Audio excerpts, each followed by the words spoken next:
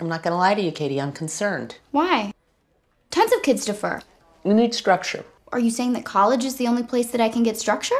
Here's something. Why don't you start a diary? Or a blog? I'm gonna start by telling you a secret.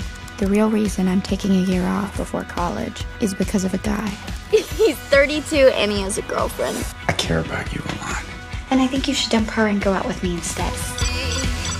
Maybe that's why I like older guys so much. I just always thought it was because my dad was such a dick. You promised me you'll never grow up. Now look at you. Tits and everything. My mom's marrying the mustache. What is on the agenda for today?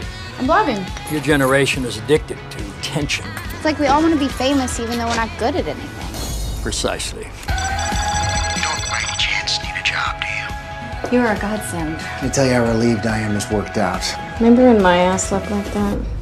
Do you think he only hired me so he could have sexual intercourse with me? Crossed my mind. What do you have with her that you don't have with me? There are things that people close to each other in age share. Like what? Martina and I are intellectually compatible. Every human being is a contradiction. What are you grinning at? You. Some hide it better than others.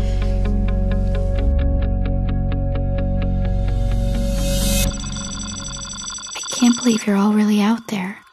I'm used to only being famous in my own mind.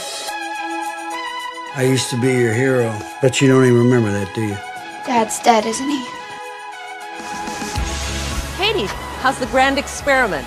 Actually, it's really, really hard. I'm sorry.